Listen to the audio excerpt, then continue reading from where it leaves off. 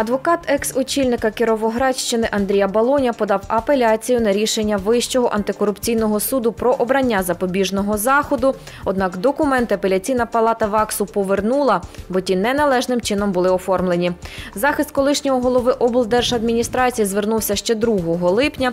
Після повернення документи повторно адвокат не подавав. адвокат не надав ем, засвідчений належним чином копії свідоцтва про право на заняття. Ну, хоч не підтвердив свої повноваження, не надав документи на підтвердження повноважень. В зв'язку з цим він вважається особою, яка не має права подавати апеляційну скаргу, і тому йому подали повернули цю апеляційну скаргу. Але теж не позбавляє його можливості ще раз її подати. Близько 300 мільйонів гривень заборгував Долинський комбікормовий завод жителями з Петрівського, Долинського, Бобринецького, Устинівського та Новгородківського районів. Вони орендували елеватори, що на території заводу для зберігання врожаю. Коли прийшов час його забрати, товар людям не віддали. Куди подівся врожай, на підприємстві не пояснили. За більш ніж два роки на заводі змінилося кілька власників. Втім, жоден із них компенсувати втрати не поспішає. Відтак майже три десятки ошуканих орендарів вийшли на мітинг під стіни заводу. Коли ми прийшли в 2019 році забрати свої кошти, тобто продати е, зерно, нам сказали, що зерна вашого немає. І от е, вже більше року ми приїжджаємо сюди, ми зустрічаємося з колишніми власниками, з цими власниками. З, е, тут були люди, які е, законно, незаконно забирали цей елеватор, це майно. Ми оберігаємо, щоб не виїжджали звідси машини із е, металоломом, тому що вважаємо, що тут кожного є частка. Я приїхав сюди за грішми лічно, я відмічав собі. 84 рази село Івановко Долинське, ну, Василі Боковенька. Приїдемо немає, або три тисячі тикне, або це. І оце така ситуація. Спілкуватися із журналістами директор заводу не захотів. Деталі дивіться у наступних випусках новин.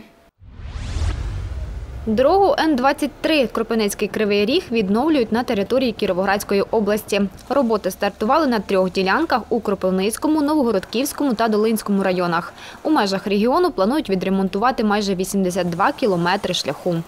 По роботі говорити це укріплення нижніх шарів, влаштування вирівнюючого шару і покриття крупнощебеневим крупнощебеневою асфальтобетонною сумішю. В рамках е, ремонту буде відремонтовано три мости у Новгородці, в Покровці та в Братолюбівці. До кінця року ми плануємо здати в експлуатацію за умови е, стабільного фінансування і за сприятливих погодних умов. Зійшов із колії вантажний потяг на залізничній станції Чорноліська у Богданівці Знам'янського району. Сталося це 6 липня. Локомотив із шістьома вагонами протаранив будівлю залізничників на станції і повалив стовп. Частина вагонів, що зійшли з колії, перевернулася. Відомо, що потяг перевозив деревину. Ніхто з людей не постраждав. Уперше за півстоліття у Кропивницькому відремонтують міський травмпункт. Ціна питання – півтора мільйона гривень. Фінансування міська рада передбачила з бюджету. Загалом оновлення лікарні швидкої меддопомоги Кропивницького на даному етапі обійдеться у 3 мільйони. Міський е, травмопункт існує уже 50 років, і за ці 50 років, на жаль, ремонтні роботи там не проводились. Рентген-кабінет, рентгенапарат, який там працював до сьогоднішнього дня, це ще 86-82 року випуску. На сьогоднішній день ремонт в активній фазі. Е, Робиться ремонт як внутрішній, так і зовнішній. Понівечили вандали алею, висаджену атовцями у Долинській. Про це повідомили у міськраді. Сталося це у ніч на 6 липня. Невідомі зламали рідкісну породу дерева, сумах, віргінський або уксусне дерево. Заклали алею восени 4 роки тому члени районної спілки воїнів, учасників АТО Долинського району захисник. Так як немає можливості сьогодні, немає коштів для того, щоб парк у нас охоронявся, тому, е, тому от, е, в нічний час у нас відбувається те, що у нас е, ламають дерева. Ну, це не перший випадок. Ми звертаємося в поліцію, але ж звісно, що нікого ніхто не, на, не знаходить. От, е, прийде, у прийде осінь, посадимо на те місце нову, нову деревинку, але ж це треба час, щоб вона виросла. Створювати місто в мініатюрі розпочнуть у Кропивницькому. Про це журналістам розповів головний спеціаліст відділу з охорони культурної спадщини Володимир Поповічев.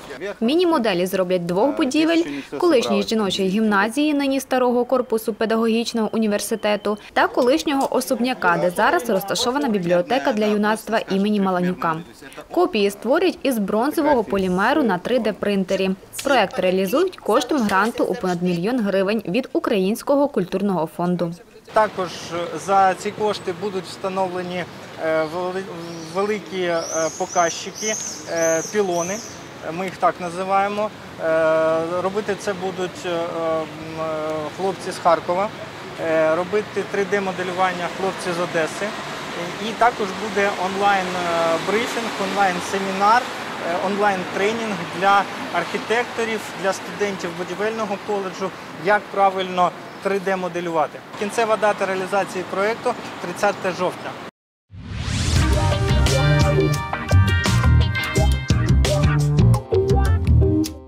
За даними синоптиків, у середу, 8 липня, переважатиме погода з мінливою хмарністю. Вночі помірний, вдень короткочасний дощ та гроза.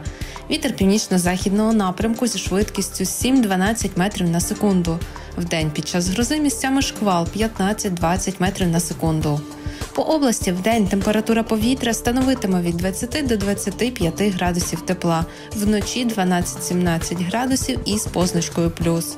У місті Кропивницький вдень повітря прогріється від 21 до 23 градусів тепла. Вночі температура повітря коливатиметься від 13 до 15 градусів вище нуля. Радіаційний фон по місту складатиме 14 мікрорентген на годину.